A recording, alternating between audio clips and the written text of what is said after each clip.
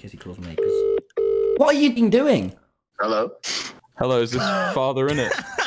Uh, yeah. Hello. I just want to let you know your your son is being very very bad, and I'm here to get him in trouble.